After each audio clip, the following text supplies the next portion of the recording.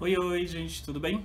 É, Eu não sei se o vídeo tá escuro, eu acredito que não, que eu fiz todos os testes possíveis.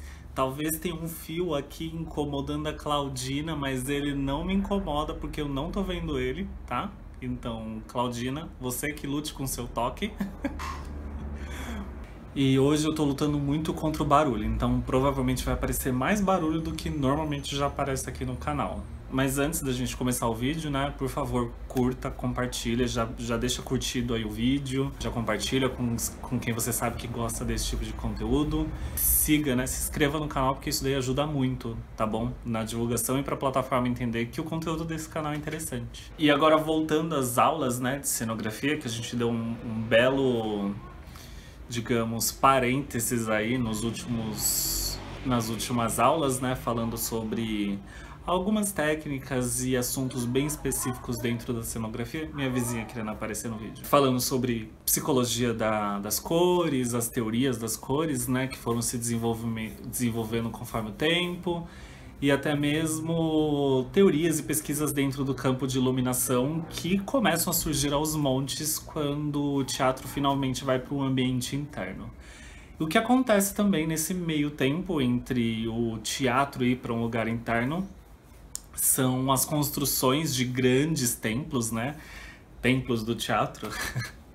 Mas de grandes teatros financiados pelos governos, né? No caso, não interessa qual o tipo de governo, como que era na época que a gente está focando aqui mais é, mas não, né? É sobre a, a cenografia, então essas construções, esses grandes prédios, teatros, que estão aí até hoje, muitos deles, são peças cruciais para o desenvolvimento do próprio teatro e como ele vai se desenvolver do, no decorrer do tempo. E um desses desenvolvimentos é, na, na verdade, a separação entre o teatro e a música, né, que antes eram bem intrínsecas uma à outra, e começam é, o, os, as óperas, né, onde a gente tem um grande, digamos, um, um, o maior precursor do desenvolvimento do teatro nas questões tanto técnicas quanto em todas as outras, como a própria construção dos ambientes onde as peças de teatro, as óperas vão acontecer, se dão muito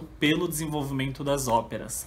Então, muito do que a gente conhece hoje como estrutura de teatro partiu não só o teatro grego, a gente pode falar que ele foi o, um dos, o primeiro, né, é, separador, né, divisor de águas dentro do teatro. Acredito, eu considero a ópera, o início da ópera como segundo, né, porque suas grandes estruturas necessárias para que a ópera acontecesse, toda a movimentação que ocorre por trás, o grande investimento que existe para que uma ópera aconteça, é, as estruturas que são montadas, tanto, tanto físicas fixas como físicas temporárias, são de grande ajuda para né, como a gente conhece o teatro hoje. Mas antes da gente começar o vídeo de hoje, né? Vamos lá começar de uma tacada só. Nossa, eu já fiz toda essa introdução gigantesca aí, né? Pra falar com vocês e pra gente começar o vídeo, então pode ter certeza. Esse vídeo de hoje pode ser que fique muito longo. Então, talvez eu tenha que dividir ele em duas partes, tá? Se ele for dividido em duas partes, vocês vão ficar sabendo agora, que eu vou colocar bem aqui embaixo, bem grandão, e a Claudina vai me ajudar avisando, né? E aí, caso o vídeo seja dividido em duas partes, eu vou fazer uma pequena introdução na, no final, quando eu terminar de gravar o bloco completo. Bem, eu já disse, né, que a, a, é, a ópera, né, as óperas surgiram da separação da parte lírica ou cantada do teatro, né, que ocorriam nessa época, para um bloco só dela, né, a ópera virou um bloco único. E o que difere uma da outra é que o teatro a gente conhece, né? São leitura, basicamente leituras, são interpretações de textos.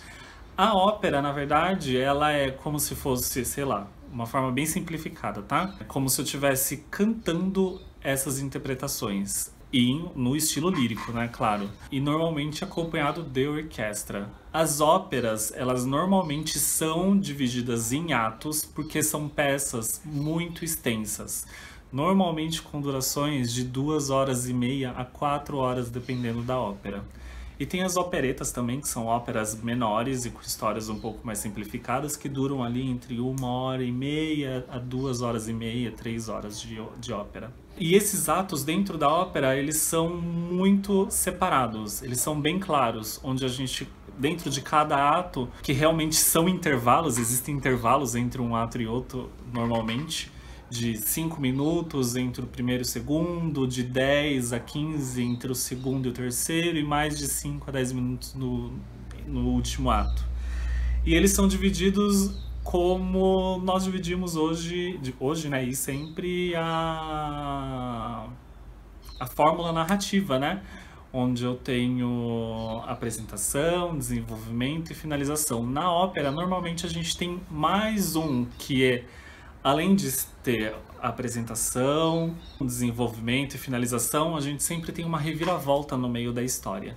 E normalmente são histórias dramáticas ou românticas, né? Existem óperas aí no meio que são de outras temáticas, mas a mais comum são os romances e as, os dramas. E lembrando, todas elas sempre cantadas, então dificilmente, praticamente impossível você encontrar uma ópera, a não ser que seja uma forma nova que estão tentando inserir, de você ter um, um, uma parte falada, né? Por mais que existem, existam falas dentro da ópera, elas são cantadas. E elas são cantadas de forma extensa, como eu já disse, né?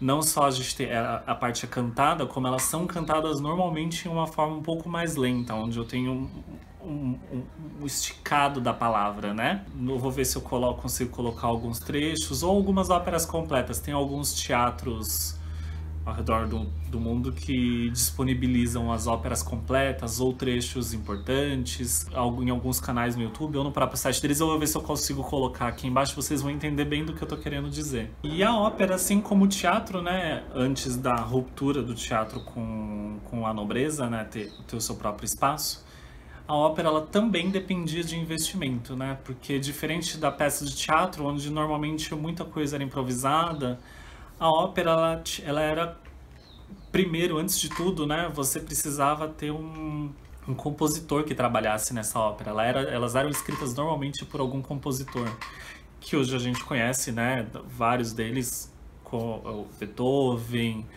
é, Verdi, Puccini, são todos compositores famosos e todos eles eram financiados pela própria nobreza. Aqui eu vou é, segurar da mesma forma como eu faço nos outros vídeos. A nobreza pode ser tanto a coroa, quanto algum político, como algum mecena, né, que fazia patrocínio de arte.